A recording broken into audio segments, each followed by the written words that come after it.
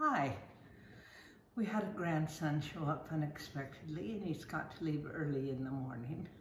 So I thought I would show you a simple, fast, and uh, available breakfast for those that get up early and those that get up a little later. That's all I did is went to the pantry and got the dehydrated uh, hash browns.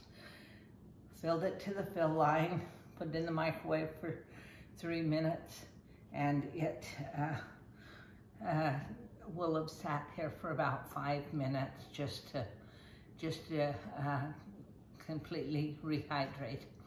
That would be equivalent to about, uh, well, let's see what the poundage is here. It's 4.2 ounces of dehydrated hash browns. It would be about two medium uh, potatoes or one very large potato that would have been uh, grated if you happen to have leftover potatoes. And I've got myself six eggs. I'm going to salt,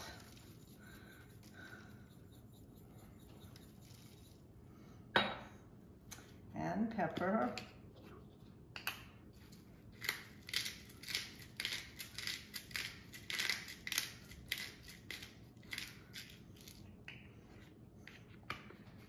I'm going to uh, blend the eggs real quick with just a fork, beat them up good. And then I'm going to add a cup of milk. And I've got some homemade salsa here. I'll do about three tablespoons of salsa.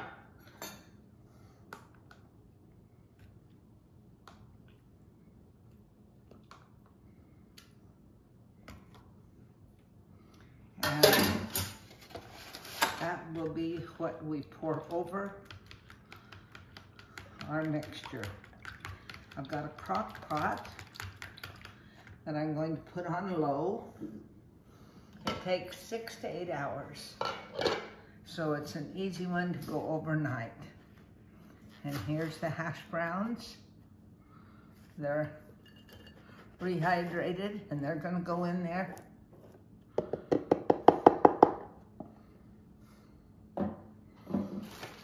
because this was not planned for. I just grabbed some Jimmy Dean already fully cooked uh, sausage out of the freezer and I will put that in.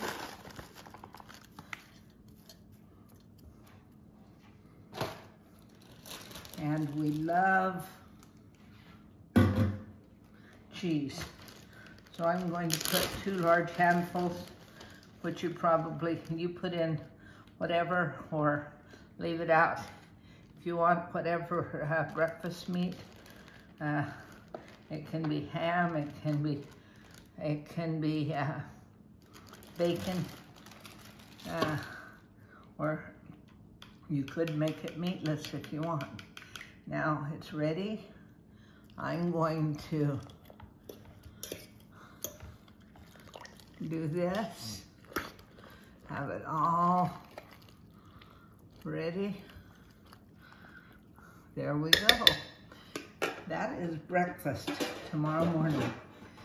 It's got your protein, it's got your eggs, it's got your carbs, and it should be delicious with a little bit of uh, homemade bread toasted and some jam, jelly, or uh, honey on it.